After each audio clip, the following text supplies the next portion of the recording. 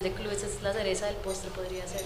Dios quiere, esa, esa es la idea. ¿Cómo se lo imagina usted, el más experimentado, el que digamos tiene que tener los pies más en la tierra? No. ¿Qué piensa de ese mundial? No, yo no, yo, el mundial está lejos todavía, la verdad. No pienso, no pienso en eso. Eh, pienso primero en el partido de, de la Suramericana. Como se lo digo al grupo, no podemos pensar en el mundial porque este juego nos puede jugar una mala pasada en cualquier sentido. porque- y hasta la misma vida. Uno no sabe qué puede pasar en una hora, en dos horas, eh, sino que hay que disfrutar el día a día, hora tras hora, porque el mundial todavía está muy lejos.